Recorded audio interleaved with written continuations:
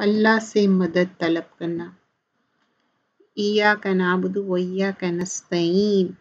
आउन से है मदद मांगना। अल्लाह सुबहान अल्लाह ताला फरमाते इज़ा मतलब जब इस्ता अंता फस्ताइन बिल्ला तो अल्लाह ताला बोल रहे हैं, जब तुम मदद मांगो, हेल्प मांगो तो सिर्फ़ और सिर्फ़ हेल्प किससे मांगो? अल्लाह सुबहान अल्लाह ताला से। ये तिरमिज़ी की रिवायत है। और सूर्य फातिहा में हम भी हमने यही सीखा कि मदद सिर्फ़ और सिर्फ़ आउन इज़ा बिल्लाह। अल्लाह से ही मदद मांगना है। जजाकल्ला खैरन।